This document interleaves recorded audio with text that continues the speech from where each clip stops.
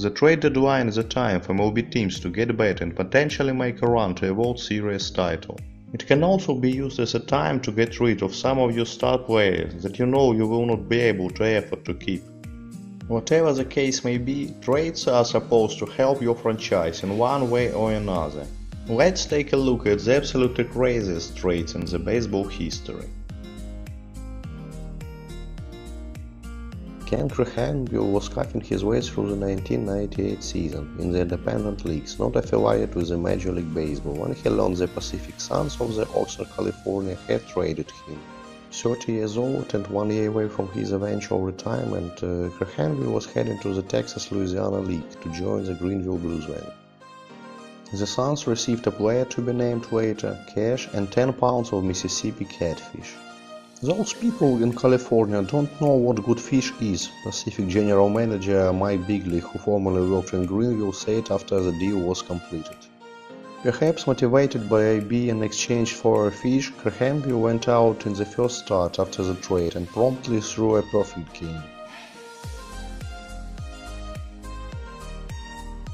When the Calgary Vipers uh, realized that their new pickup John Odom wasn't going to be able to play for them, they decided to make the best of it.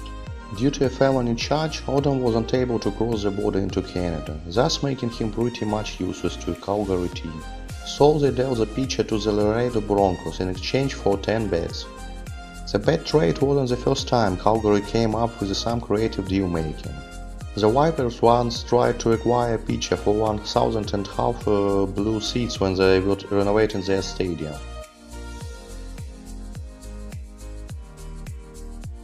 Back in 1948, well before he became the legendary voice of the Tigers, Harwell called games for the Atlanta Crackers. With their regular play-by-play man Allen, the Brooklyn Dodgers called Ernie Harwell. Sensing an opportunity, the Crackers owner demanded a play in return for letting Harwell out of his contract. The Dodgers ended up surrendering minor league catcher Cliff Dapper. However, Harwell lasted only one season with Brooklyn and shuffled off to Detroit, where he became a broadcasting legend. Dapper accumulated just 19 career MLB appearances and never earned another one, toiling away at the lower levels of professional baseball until retiring.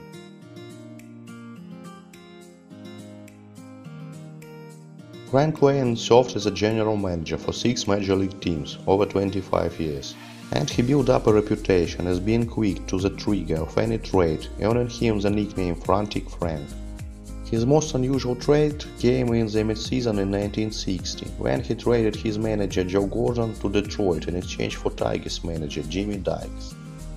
The move did not really work out as hoped, as both teams missed the playoffs and failed to improve in any discernible way.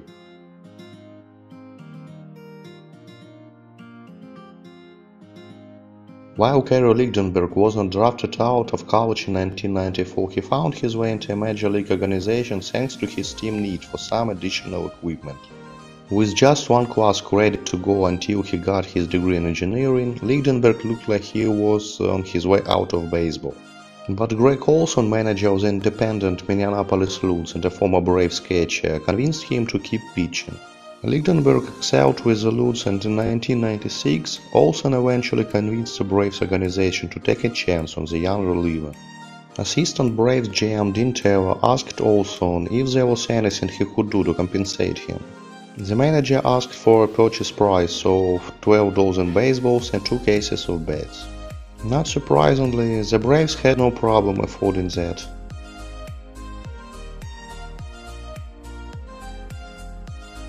In 1962, Harry Chiti became the first player ever to be traded for himself. Cleveland Indians traded him to the New York Mets at the beginning of the season for a little cash and a player to be named later. By the season's end, the Mets shipped him back to the Indians. It was the last he'd ever appear in the big leagues. John McDonald suffered a similar fate. The Toronto Blue Jays traded him to the Detroit Tigers for the player to be named later. Despite a decent showing as the Tigers backup uh, shortstop, the Tigers sent McDonald back to Toronto.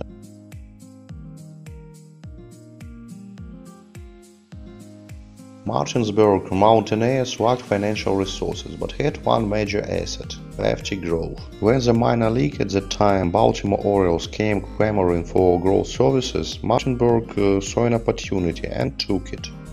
The outfield fence at the Martinsburg ballpark had been uh, leveled by a storm, forcing them to start the 1920 season on the road. Baltimore could have Grove if it paid for a new one, some uh, $3,500. The Orioles quickly agreed, assuring Lefty a very strange place in baseball history.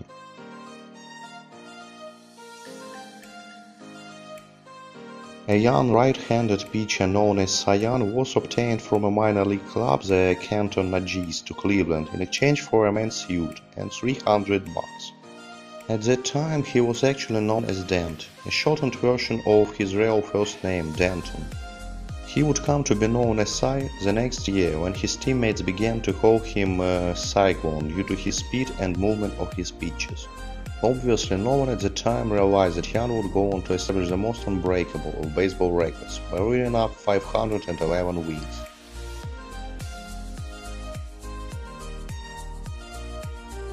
After amassing 3,000 hits and a ground-hitting career, Dave uh, Winfield's value would be through the roof. But in the waning years of his career, he was traded for Dino. The Twins traded the 42-year-old future Hall of Famer to the Indians at the 1994 deadline for a player to be named later.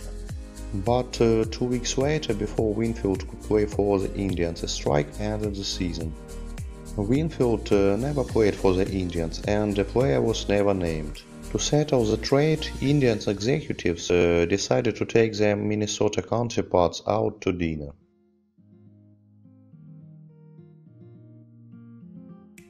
As the director of baseball operations for the Chattanooga Lookouts, uh, Joe Engel, was known for putting on all manner of publicity stunts. He had a duck lay an egg on the second base, and one game he had the team ride into the field on elephants. And then, of course, there was a time he traded his uh, shortstop for a turkey.